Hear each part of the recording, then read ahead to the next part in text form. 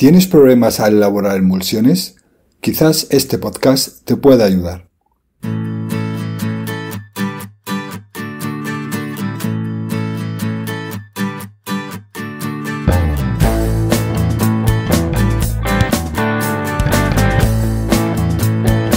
Estimados formulistas, bienvenidos al podcast sobre consultas de formulación magistral y dermocosmética. Soy el doctor Enrique Alía.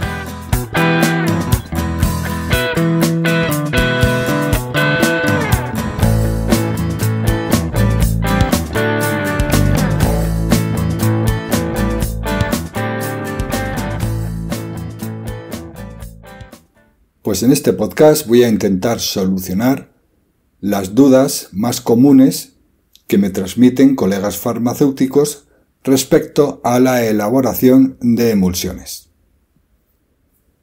La primera consulta es la siguiente. ¿Qué significa emulsión OW y emulsión WO? Realmente es una forma de denominar a las emulsiones. Así, una emulsión O barra W significa que esa emulsión tiene una fase interna oleosa y una fase externa acuosa. El caso contrario sería la emulsión W barra O. La fase interna en este caso sería la acuosa y la fase externa la oleosa. Ejemplos. La crema base de Biller es una emulsión de fase externa acuosa o sea, una emulsión O barra W. El cold cream es una emulsión de fase externa oleosa, o sea, una emulsión W barra O. Y otro tipo de emulsiones, que quizás empleen menos, son las emulsiones W barra S. La fase interna sería la acuosa y la fase externa sería de tipo silicónico. En este caso, el agua se dispersa, como fase interna que es, en pequeñas gotículas dentro de la fase silicónica, que sería la externa. ¿Qué es una emulsión aniónica? Antes de nada, hay que explicar que el carácter o la naturaleza de una emulsión viene dado por su tensoactivo, por la naturaleza físico-química del tensoactivo. Así tendremos emulsiones aniónicas, que son las emulsiones que contienen tensoactivo aniónico, emulsiones no iónicas, cuyos tensoactivos son no iónicos, y emulsiones catiónicas, cuyos tensoactivos son de tipo catiónico. Luego entonces, una emulsión aniónica es aquella que contiene tensoactivos aniónicos. Un ejemplo de emulsión de tipo aniónico, pues la base de Biller, que emplea lauril sulfato sódico como tensoactivo como tensoactivo aniónico. Un ejemplo de emulsión catiónica sería la crema de cetrimida, que contiene un tensoactivo catiónico que sería la cetrimida. Muchas de las emulsiones no iónicas se basan en tensoactivos no iónicos polioxietilenados, como puede ser el cremofor, RH40, los polisorbatos, etc. Otra consulta que me suelen hacer relativamente es que es una base autoemulsionable. Pues una base autoemulsionable es una base que contiene la fase oleosa básica de la emulsión más tensoactivos. Es una mezcla. Tal que a esta base autoemulsionable cuando se le añade el agua correspondiente y a una temperatura dada, forma la emulsión. O sea, en un baño de agua vamos a tener la parte correspondiente de la base autoemulsionable, que será la fase oleosa más el tenso activo que ya está integrado, y por otro lado tendremos el agua. Calentaremos pues a 70-75 grados centígrados, que suele ser la temperatura típica de emulsificación, y una vez fundida nuestra base autoemulsionable, vamos a sacar ambas fases del baño de agua y añadiremos la fase acuosa sobre la oleosa en pequeñas porciones y de forma continua, agitando hasta enfriamiento, hasta llegar a temperatura ambiente, que es cuando se forma nuestra emulsión. Ejemplos de bases autoemulsionables. Pues por ejemplo el Montanop 68, el NeoPCL-OW o el NeoPCL-WO, el Oliven, etc. El trabajar con bases autoemulsionables pues tiene ciertas ventajas, mm, por ejemplo, de facilidad de elaboración, mm, incluso en algunas ocasiones de rapidez, mm, de estabilidad. Existe otro caso, aunque no se denominan bases autoemulsionables, pero sí emulsiones listas para su uso el propio proveedor de materias primas te distribuye una base lista para su uso. ¿Qué quiere decir esto? Que no hace falta que tengamos que hacer ninguna emulsión, ni añadido de agua, ni nada. Te la da lista para que tú incorpores los principios activos mm, prescritos por el médico o los principios cosméticos si haces cosmética, etc con lo cual ganas muchísimo tiempo y generalmente estas bases suelen tener alta estabilidad. E incluso suelen contener ya los conservantes. Otra consulta. Me exponen lo siguiente. Al añadir las fases, se produce solidificación de parte de la fase oleosa, rompiéndose la emulsión, queda líquida, quedan las fases separadas. ¿Por qué se produce esto? ¿Cuál es la causa? Pues está claro que en este caso las fases no se añadieron a la misma temperatura. Hay una diferencia de temperatura que hace que solidifique parte o toda la fase oleosa. Esto es generalmente porque la fase acuosa tenía una temperatura inferior. ¿eh? Esto quiere decir que cuando añadamos las fases, ambas fases tienen, tienen que estar siempre a la misma temperatura, porque si no es fácilmente que ocurra lo que hemos dicho. Ruptura de la emulsión a corto o a largo plazo. Aquí las causas son muy variadas. He recopilado por las más importantes o las que yo creo que son las más relevantes. Por ejemplo, unión de fases a distinta temperatura, que ya lo hemos visto, agitación descuidada, irregular, eso que añades las fases, agitas, lo dejas porque tienes que hacer otra cosa, vuelves, que si el móvil, o por favor no empleemos móviles, alejemos los móviles cuando estemos haciendo una fórmula, porque es causa de grandes equívocos. Bueno, pues eso, una agitación descuidada e irregular nos lleva a, fácilmente a una ruptura de emulsión. Más causas. Adición de fases de una vez, como de golpe. La fase acuosa la añadimos directamente, no en pequeñas porciones. Ojo que hay algunas bases, como el Montanov o la base Softcar, en las que se debe añadir de una vez la, fase acuosa. ¿eh? Pero hay otras que no. Eh, también otra causa de ruptura puede ser enfriamiento rápido de la mezcla.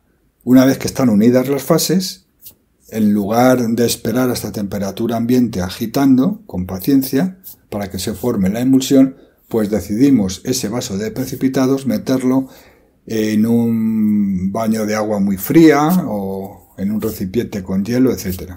Entonces, pues puede producirse una, una, ruptura a corto o a largo plazo debido a esta, esta forma de actuar. También la introducción de burbujas de aire puede llegar a romper una emulsión, sobre todo a largo plazo. Por eso hay que tener cuidado a la hora de emplear medios mecánicos, o sea, agitadores o turboagitadores, emulsionadores, etc. Eh, hay que elegir modelos que eh, no introduzcan burbujas de aire o introduzcan la mínima cantidad de aire posible. Y les voy a poner un ejemplo. Si hacemos una crema base lanet de estas más bien fluidas, o sea, con baja concentración de lanet, por ejemplo, 10%, 5%, y empleamos, por poner un ejemplo, una, un agitador que introduzca muchas burbujas de aire, véase una batidora convencional, al principio, bueno, se va a formar una emulsión muy vistosa, tipo mousse, etc. Pero al cabo de los días, al cabo de 4, 5, 6, una semana, pues eh, empieza a separarse fase acuosa de la fase oleosa y al final, pues hay una ruptura estrepitosa de la emulsión y todo ha sido debido por la introducción de burbujas, de micro burbujas de aire, debido a esta agitación con este agitador inadecuado. Y otra de las grandes causas de ruptura de emulsiones es no añadir, sobre todo en las emulsiones que se hacen con todos sus ingredientes, quiero decir sin emplear bases autoemulsionables, pues no se añadan eh, los tensoactivos adecuados y en sus cantidades adecuadas. A lo mejor logramos de primeras formar la emulsión, pero al cabo de unas horas o unos días esa emulsión eh, experimentará ruptura. Todos estos factores hay que cuidarlos para obtener un producto óptimo, adecuado, con calidad. Es muy recomendable, cuando hagamos una formulación magistral, dejarla al menos entre 24 o mejor 48 horas en maduración para de alguna manera ver su evolución, sobre todo si son fórmulas novedosas o estamos empezando, etc. Y por supuesto, si se nos rompe una emulsión, no se puede reconstituir. Hay que empezar de nuevo. Esa emulsión rota la tiramos y fabricamos una nueva. Hay gente que a lo mejor añade algún espesante como sepigel, etc. Pero desde mi punto de vista mm, no lo veo muy recomendable. ¿eh? No nos cuesta nada empezar de nuevo, saber en qué hemos fallado y vamos a obtener pues, un producto de calidad. ¡Ay, se me olvidaba! También les tengo que comentar que hay activos incompatibles con ciertos tensoactivos y que producen ruptura de emulsiones. Un ejemplo puede ser eh, las sales. Las sales en general suelen romper los sistemas emulsionantes basados en tensoactivos aniónicos, como por ejemplo eh, las emulsiones base de Biller o las emulsiones eh, crema base Lanet. Siguiente consulta. Cuando incorporo un material pulverulento a una emulsión que he elaborado previamente, se me forman unos grumos muy difíciles de disgregar. Prácticamente es imposible. ¿Qué puedo hacer?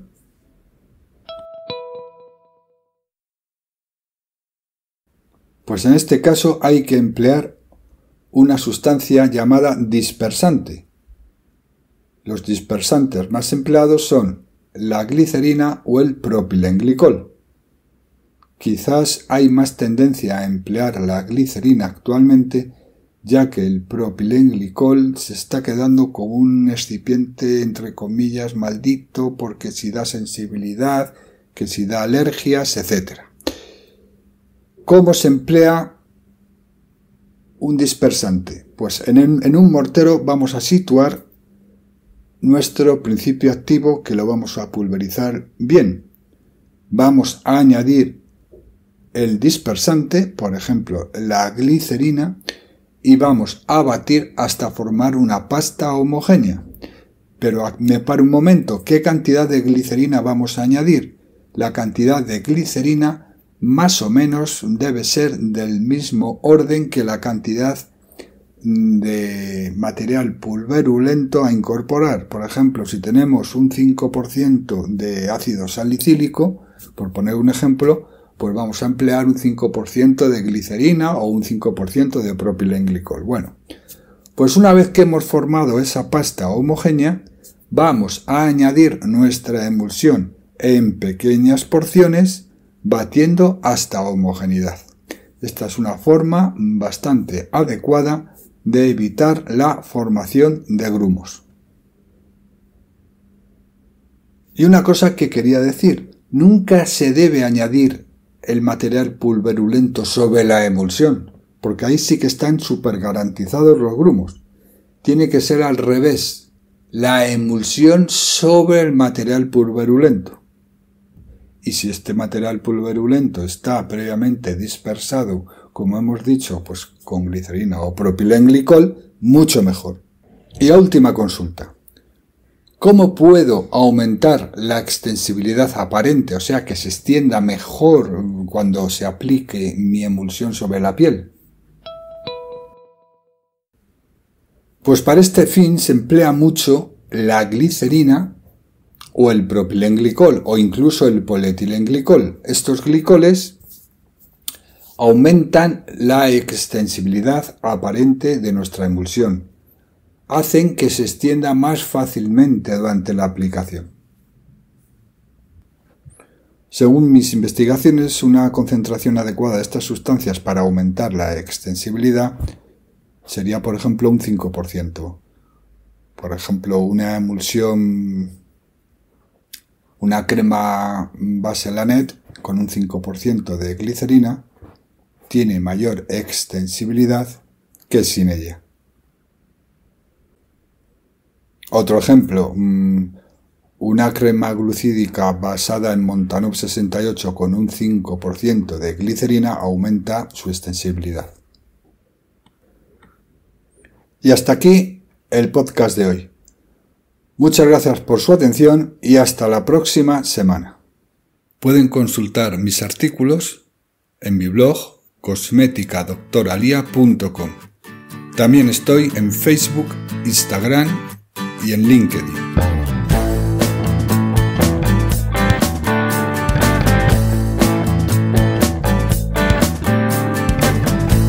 Pues hasta aquí este episodio del podcast Formulación Magistral y Dermocosmética. Muchísimas gracias por su atención y hasta el próximo podcast. Hasta pronto, formulistas.